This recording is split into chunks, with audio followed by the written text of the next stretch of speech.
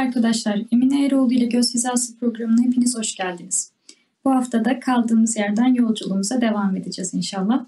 Bu hafta yine e, sizden gelen sorulardan derlediğimiz ve oldukça ilgimizi çeken bir soruyla karşınızda olacağız. Soruya geçmeden önce Emine ablacığım hoş geldiniz.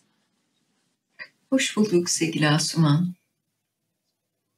Ablacığım bu haftaki sorumuz insanın kendine e, olan aslında muamelesiyle alakalı.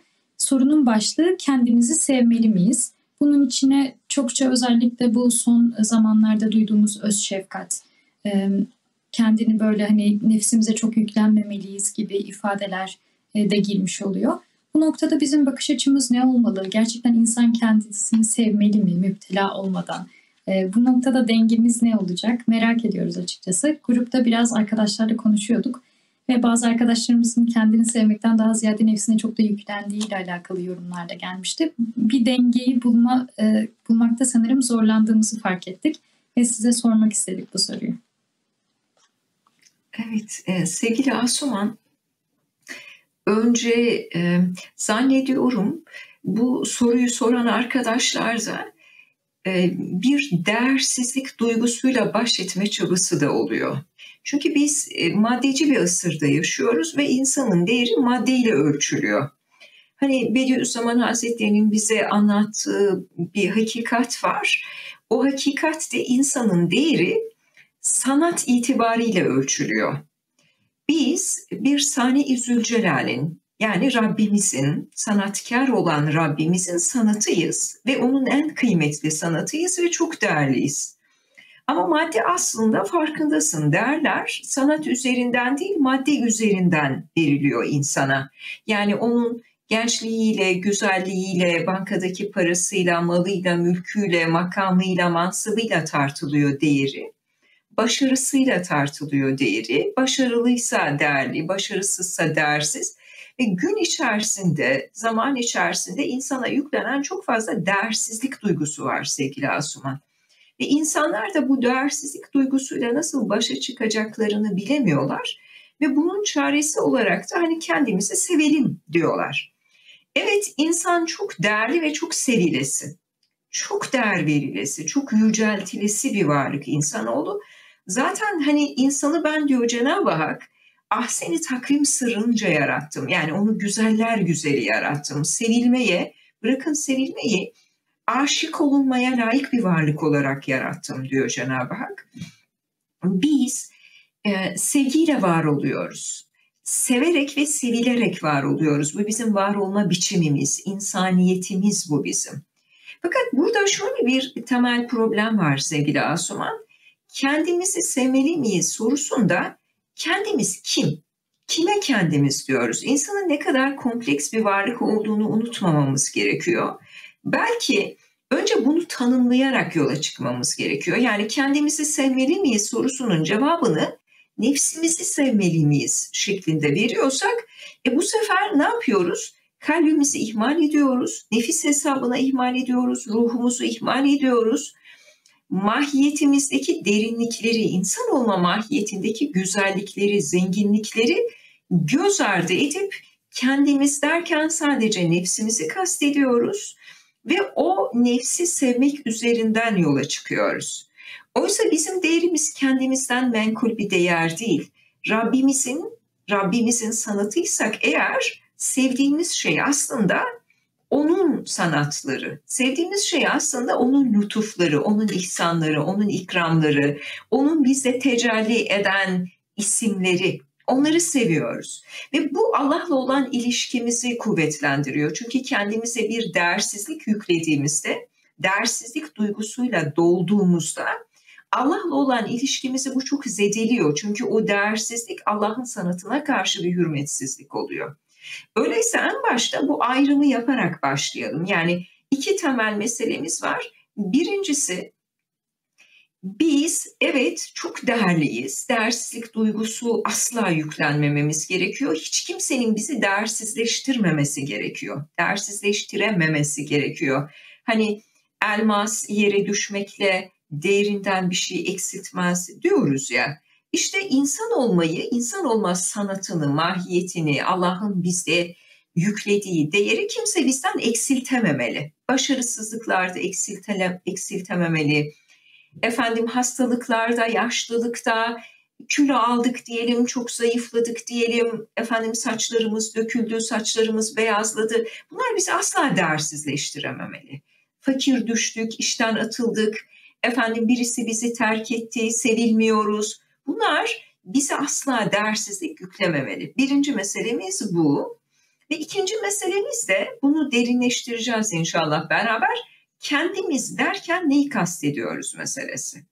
Sen de farkında mısın sevgili Asuman insanlara sürekli dersizlik duygusu yüklendiğini ve onların bununla başa çıkabilmek için e, kendimizi sevmeliyiz çabası içerisinde olduğunu ama bunu da bunun içini de neyle dolduracaklarını bilemediklerini. Sen ne dersin? Bunu kendi hayatımda da çok tecrübe ettim. Özellikle başarı, başarısızlık dengesi arasında. Sanki başarısız olursam e, yani hiç dünyada varlığımın bir kıymeti olmayacakmış gibi. E, ve bu aslında farkında olmadığım bir düşünce. Sanki hani bilinçaltımda bana kendi kendime empoze ettiğim bir şey gibiydi. Bununla ilgili etraftaki arkadaşlarımın da böyle bir e, bu tarz başarıyla imtihan olduklarını gördüm. Mesela bir arkadaşım üniversite yıllarında söylemişti bana. Onu unutamıyorum hala böyle bazen ara ara aklıma geliyor. Hani demişti ki böyle benim kendimi kanıtlamam lazım. Hani e, aileme, sevdiklerime. O yüzden bunda başarılı olmalıyım.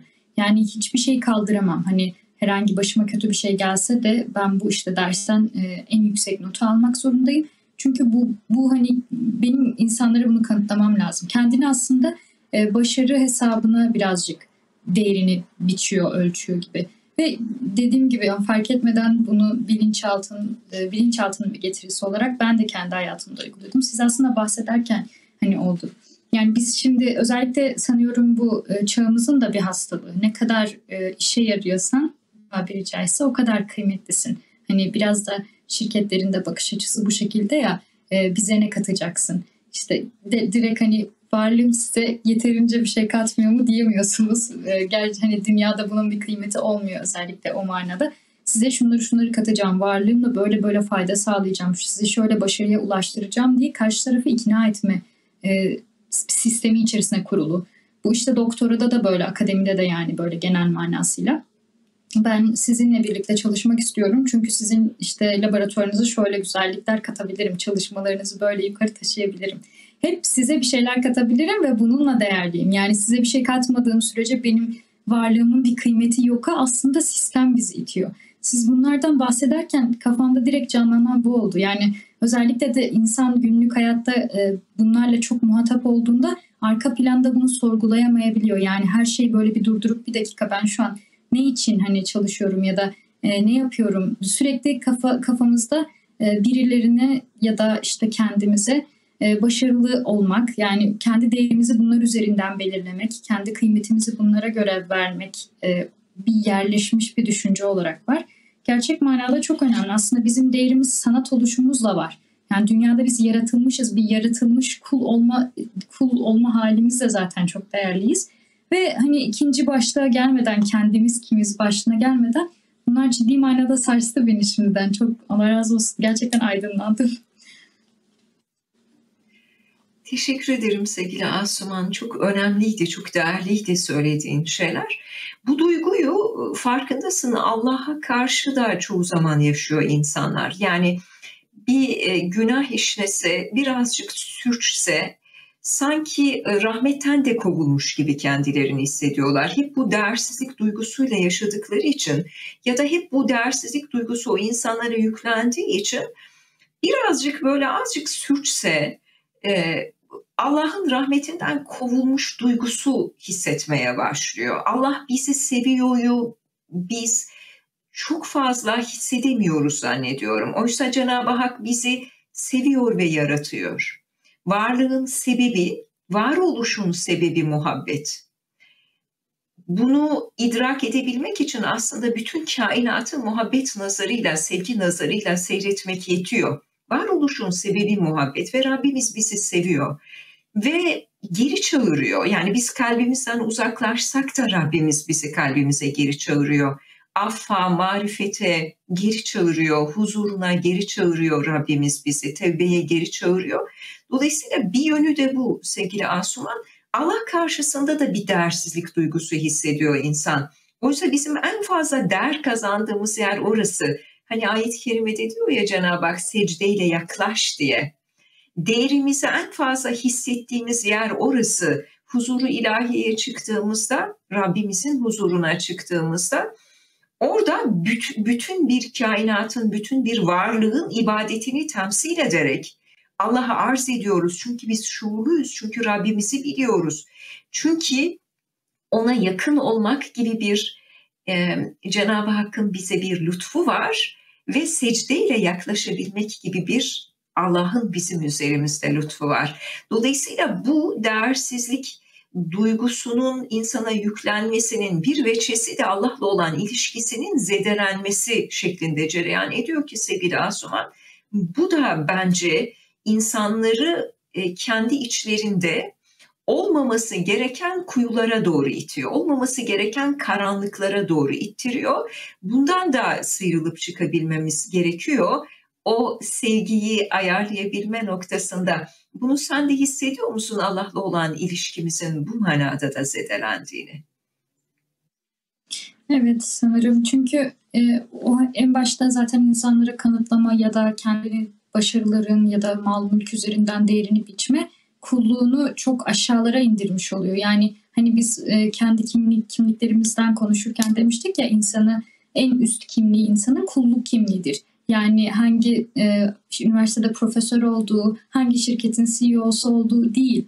Kulluk ya da işte nerede çalıştığı, ne kadar maaş aldı bunların hiçbiri onu tanımlayan değerler olmamalı. En başta bizi tanımlayan değerler kulluk olmalı. Biz kimliğimizi onun üzerine inşa ettiğimizde aslında zaten diğer her şeyin önemi kalmadığı gibi değersizlik duygusunu da aşmış oluyoruz dolaylı yoldan da olsa. Direkt olarak değersizlik duygusu açısından bakınca insan bunun farkına biliyor gerçekten bir e, çukur gibi yani. E, tek tek hani böyle farklı başlıklar altında ele alma bu manada çok faydalı oluyor. Evet e, sevgili Asuman. O zaman e, ikinci sorumuza geçebilir miyiz? Ben kendim kimim? Evet. Şimdi insana yüklenmiş çok yüksek bir donanım var biliyorsun. Çok yüksek bir donanım var. O yüzden insan çok değerli. Ve bu asıl bizim meselemiz donanımımızın yüksekliğinden kaynaklanıyor. Yani e, Allah insana bütün alemleri bir numunesi olarak insanı yaratıyor ve ona bütün alemlerin fihristesi nazarıyla bakıyor Cenab-ı Hak. Bütün alemlerin fihristesi yani bütün bir varlığı süzgeçten geçirsen ve ondan elde edeceğin öz olarak düşün insanı. O kadar değerli bir mahiyeti, o kadar da aynı zamanda sevilesi, hayran olduğu nasıl bir mahiyeti var insanın. Fakat bu insan mahiyeti içerisinde hani ben bu dönemde senin söylediğin gibi çokça tekrar ediliyor. Kendimi seviyorum. Tamam ama insan bir tek mahiyetten oluşmuyor. Alemlerin haritası hükmünde, alemlerin fihristesi hükmünde ise insan insanı böyle yekpare tek parçadan ibaret bir şeymiş gibi ele aldığımızda yanılıyoruz. O insanın kalbi var, o insanın ruhu var, düşünceleri, aklı var, o insanın hissedişleri var ama bir taraftan da o insanın nefsi var. Unutmayalım ki kendi inanç sistemimizde nefis insandaki çok önemli bir sistem. İnsan mahiyetindeki çeşitli sistemler, bak vicdan sistemi diyoruz mesela. Mesela ruh diyoruz. Ruh, ruh çok önemli bir mahiyet insanda. Çok önemli bir sistem. Bedenimiz var, ruhumuz var. Şimdi bütün bunların içerisinde nefis bir mekanizma, bir sistem olarak çalışıyor ve nefis ne mekanizması diyoruz ona. Ve o nefis mekanizması sevgili Asuman bizi aslında çok e, yükseklere taşımak için bize verilmiş olan bir mekanizma. Ama onunla mücadele ederek yükseklere çıkabiliyoruz. Onun altında kalıp ezilerek değil. Nefis çünkü bir mekanizma olarak e, kendini serbest ve müstakil bilmek istiyor. Oysa biz kuluz. Senin dediğin gibi kendimizi kulluk üzerinden tanımlıyoruz. Oysa nefis kendini serbest ve müstakil bilmek istiyor. Nefis sevgili Asuman ne istiyor? alkışlanmak istiyor. Nefis hiçbir kusuru üzerine almak istemiyor. Her istediği yerine getirilsin istiyor. Nefis kendini göstermek istiyor. Yani aslında bizim zafiyet olarak hem ahlaki zafiyet olarak hem e, kusur ve günah olarak tanımladığımız her şeyin merkezi, en merkezi yani şeytanın bizim varlığımızdaki işbirlikçisi nefis. Dolayısıyla nefis aslında tabii bu nefis derken emmare olan nefsi kastediyoruz. Yani nefsin de kendi içinde dereceleri var. Nefis arındırılabilen, o kirlerinden, o bulaşıklarından temizlenebilen bir mekanizma da aynı zamanda. Ama bu onun da mücadeleyle oluyor. Dolayısıyla ben kendimi seviyorum diyen birisi yanılgı yanılgıyla kendini nefsine teslim edebiliyor. Kendisiyle barışık olmak deniliyor buna. Kendisiyle barışık olmak için kendini nefsinin eline teslim ediyor. O ne isterse onu yapıyor. Tamam ama kendimizi nefsimizin eline teslim ettiğimizde nefis bir mekanizma olarak vicdan mekanizmasını susturarak çalışıyor. Nefis bir mekanizma olarak kalbi öldürerek çalışıyor, ruhu söndürerek çalışıyor. Dolayısıyla biz kendimizi nefsimizin eline terk ettiğimiz andan itibaren mahiyetimizdeki o ulvi yönleri öldürmüş, söndürmüş, susturmuş oluyoruz. O zaman sevdiğimiz şey sadece nefsimiz oluyor. Ve bununla hani kendi kendimizle barışık olmak diyoruz buna da.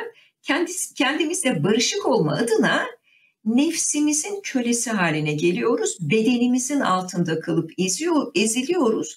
Sevgili Asuman, problem kendimiz derken kastettiğimiz şey nefsimiz mi sorusunda kilitleniyor. Eğer sevdiğimiz şey kalbimizse ona çok özen göstermek zorundayız. Hoşça bak zatına ki zübde-i alemsin sen. Şeyh Galip'in mısrağını sen hatırlatmıştın ya geçen sohbette.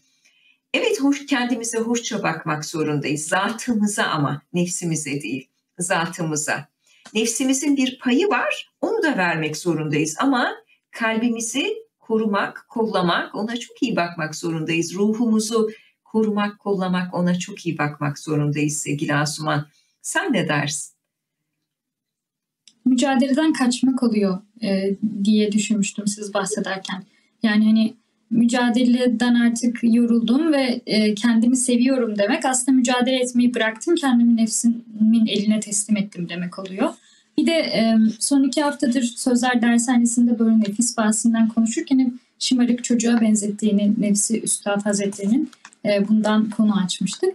Üstad Hazretleri evet nefsi şımarık bir çocuğa benzetiyor ve gerçekten e, çok hani benim de kafamda nefsin mahiyetini oturtucu bir cümle. Hani gerçekten sürekli kötülüğü emretme meselesi de öyle. Sürekli oyalanmak istiyor, çalışmak istemiyor mesela gibi şeyler. Ve onunla gerçekten bir mücadele ortaya koyarak ancak bir şeyleri gerçekleştirebiliyoruz. Oturup çalışabiliyoruz, faydalı işlerle meşgul olabiliyoruz. Bu nefisle mücadele bitmeyecek bir mücadele ama dediğiniz gibi hani nefsi emmare, teskiye edilmemiş nefisten. Bir de Kalbin Zümrüt Tepelerinde de Hoca Efendi'nin nefsi tanımlamasında e, çok hoşuma giden bir ifadesi vardı. E, Kalbin Zümrüt Tepeleri 3'te geçiyordu. Ruhla beden arasında iletişimi sağlayan o mekanizma gibi e, yanlış hatırlamıyorsam böyle bir ifadesi var. Bu da aslında hani çok ciddi bir potansiyeli olduğunu da gösteriyor dediğiniz gibi. Hani nefsin mertebelerine göre ruhtan aldığımız o e, güzelliklerin bedene aksetmesi de aslında yine buna bağlı. Bizim nefisle nefsimizi ne kadar e, terbiye ettiğimizle çok ilintili. Onu terbiye edip teskiye edebilmeyi başarıyorsak aslında ruhumuzu beslemiş oluyoruz ve onun mahiyetiyle e, ortaya güzellikler koy, koyabiliyoruz. Ruh ve beden arasındaki o e, irtibatı kavileştirmiş oluyoruz yani ve melekleşiyoruz inşallah. Ama diğer türlüsü işte tam Mevlana Hazretleri'nin bahsettiği gibi oluyor. Hani nefsi bir eşeğe benzetiyor ve hani eşeği sen kontrol etmezsen o çayırla gidip hani otlarla meşgul olursun ve sen gideceğin yere hiçbir zaman varamazsın meselesine getiriyor. Biraz kendini seviyorum meselesi de onunla irtibatlı gibi. Yani o çayırda oyalanmayı seviyorum gibi oluyor. Yani hani kendimizi nefsimiz üzerinden tanımlıyorsak bu böyle. Ama zatımıza bakmak üzerinden tanımlıyorsak o mücadele bizi yormamış oluyor ve daha güzelliklere açılabiliyoruz gibi anladım. Evet, nefis evvelen ve bizzat kendini sever diyor Bediüzzaman Hazretleri. Tam da bu, nefis evvelen ve bizzat kendini seviyor. ve başka her şeyi kendine feda eder diyor Bediüzzaman Hazretleri. Asuman bunun bir problemi de bu. Yani kendi nefsimizi severek bir kimlik inşa ettiğimizde her şeyi nefsimize feda etmeye başlıyoruz. O zaman yaşatma idealinden kopuyoruz.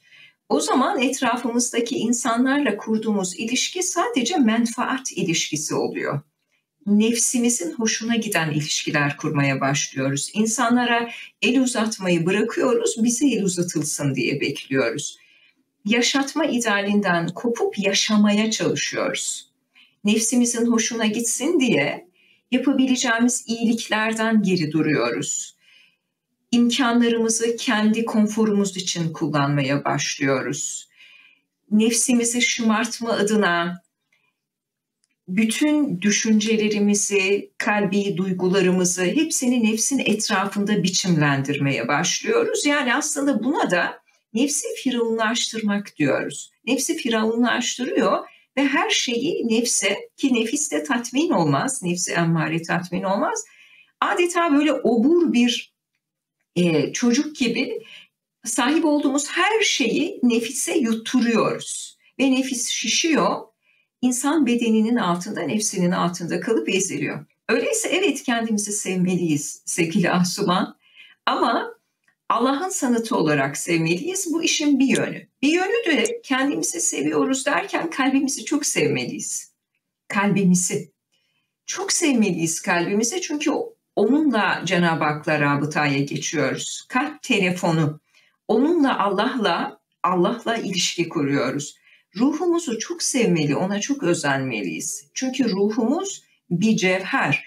Eğer onu çok seviyorsak onu bedenin altında ezmemeliyiz. Tam tersine hani süvari e, eşek ilişkisi kurdun ya sen binek ilişkisi diyelim ona. Ruhumuz binici olsun bedenimiz ruhumuza binmesin bu da Hazreti Mevlana'nın yaklaşımı ve biz hep ulvi olan mahiyetimizi bizde bir süfli mahiyet var. Yani bizi aşağıya doğru çeken bir mahiyet var. Bir de yuk- yukarıya doğru çeken ulvi bir mahiyet var. Semavi bir yönümüz var. Turabi bir yönümüz var. Yani e, topraksal bir yönümüz var. Bizi yer çekimiyle aşağıya doğru hatta karanlıklara doğru çeken bir yönümüz var. Biz semavi olan yönümüzü, ulvi olan yönümüzü sevip geliştirmeye çalışmalıyız. Yani bu ezberleri tekrar ederek kendimi seviyorum demek suretiyle kendimizi nefsimizin kölesi halinde de haline de getirmememiz gerekiyor.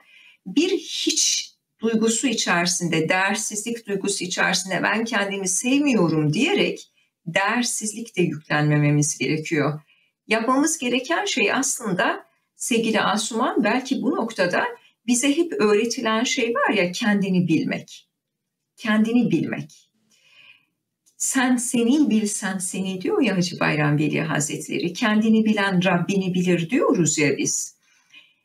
İlim kendin bilmektir diyor ya Yunus Emre. İşte bütün bu literatür insanın kendini iyi tanıması ve neyi alacak, tutacak, neye değer verecek neyi, neyin dersiz olduğunu fark edecek. Eğer ruh bizi semavileştiriyorsa onun peşine takılmak, kalp bizi, düşünce derinliği bizi hakikate doğru açıyorsa onun peşinden yolculuk etmek. Ama nefis bizi dünyaya, nefis bizi rahata, nefis bizi konfora, nefis bizi bencilliğe, nefis bizi günaha, nefis bizi karanlığa doğru çekiyorsa nefsi sevmek çok büyük bir tehlike. Nefsi sevmek, nefisle barışık olmak çok büyük bir azap olur. Sevgili Asuman, bilmem sen ne dersin? İstersen sözü sana bırakalım, sen tamamla. Evet, çok bence geniş bir açıdan da ele aldık. Bu hani özellikle gençler arasında kendimden nefret ediyorum gibi düşünenler de var. Hani bu sanatla sanat oluşumuz itibariyle baktığımızda işte burada da dengeleniyor yani kendimizi sevem, sevmiyor olamayız. Çünkü biz Allah'ın birer sanatıyız. Yani o sanata saygısızlık etmemek adına e, sanatı değersiz değersizleştiremeyiz. Ama kendimi seviyorum diye de mücadeleden kaçamayız. Yani e, mücadele hani nefisle mücadele onun sadece isteklerini yerine getirme. E, bu sefer de o dengeyi kurmamız gerekiyor. Bu noktada dediğiniz gibi kendimizin kim olduğumuzu bilmemiz gerekiyor. Hani bahsettiniz ya kalbimize çok iyi bakmalıyız. Evet ruhumuzu sevmeliyiz diye. Yani e, bu noktada hizmet etmek, namaz kılmak, güzel meclislerde bulunmak aslında kendimizi sevmek oluyor. Yani biz kendimizi sev, sevmiş oluyoruz bu noktada. Kendimize iyi bakmış oluyoruz. E, bunlardan kaçarak işte e, kendime vakit ayırıyorum e, adı altında ya da kendimle ilgileniyorum adı altında sorumlulukları elimizin tersiyle iterek ve daha böyle nefsin hoşuna giden şeylere yönelerek aslında kendimizi sevmemiş oluyoruz diyebiliriz sanırım. Evet e, sevgili Asuman son olarak e, senin vurguladığın şey önemli. Kendimden nefret ediyorum cümlesi de çok problemli bir cümle. Ne demek kendimden nefret ediyorum? Yani kendim dediğimiz şey eğer sanatı ilahiye ise onu sevmeye, ona çok iyi bakmaya mecburuz.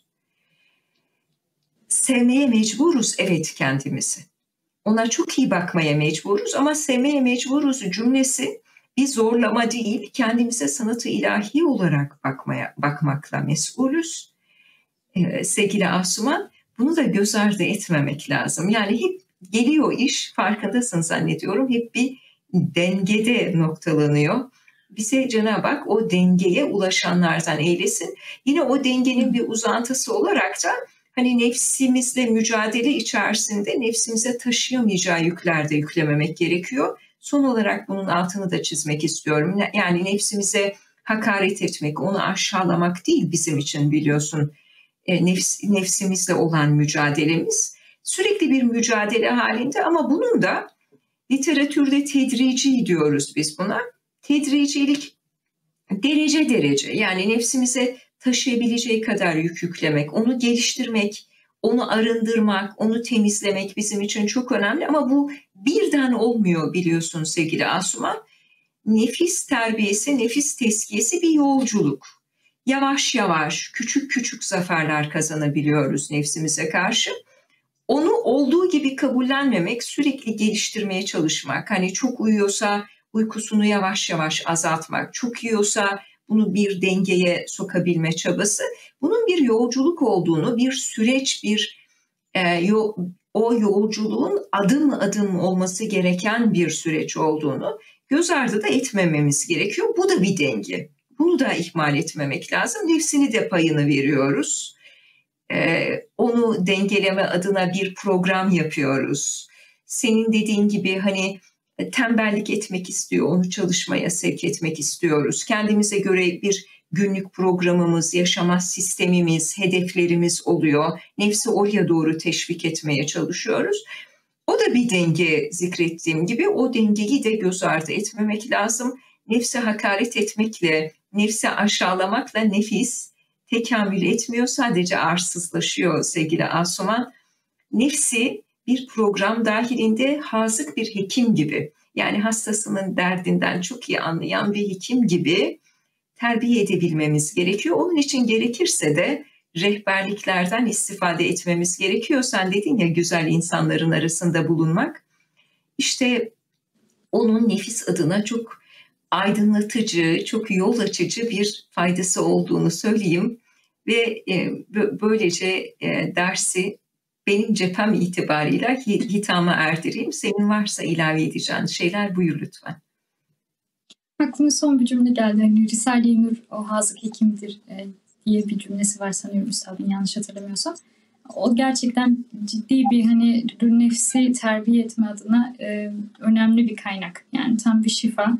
Ona da hani gerçekten ihmal etmemek gerekiyor. Risale-i Nur okumalarımızı bir okuma halkasında yer almak da aynı şekilde.